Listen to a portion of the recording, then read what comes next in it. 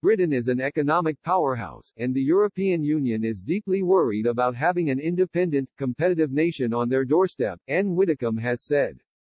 The former Brexit Party MEP was speaking against a backdrop of rising uncertainty, with both Prime Minister Boris Johnson and European Commission President Ursula von der Leyen both conceding the difficulty of reaching a free trade agreement by December 31, the day which marks the end of the Brexit transition period.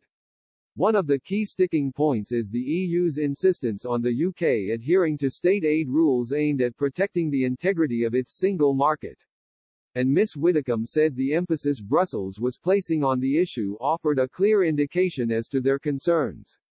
She told Express.co.uk, I've said this before, what they are really worried about is getting a Singapore on their doorstep.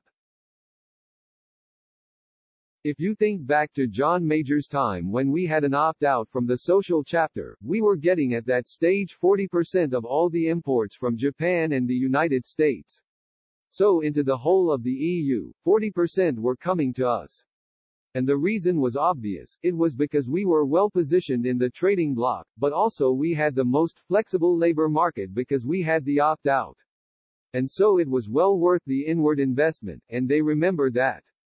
The EU has not got a short memory, it will remember exactly that. Miss Widdecombe said, this country is an economic powerhouse. We are the world's fifth largest economy. Speaking earlier this week, Rupert Lowe, who likewise served as a Brexit Party MEP in Brussels, offered a similar perspective on the situation.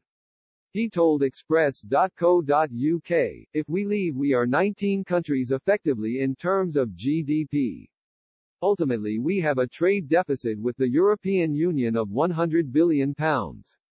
There is massive opportunity for the government to take back our fishing grounds, rebuild not just our fishing fleet but our food processing businesses and create employment in our regions. But the question we have to ask is have these people got the will to regenerate Britain in the way it needs to be regenerated?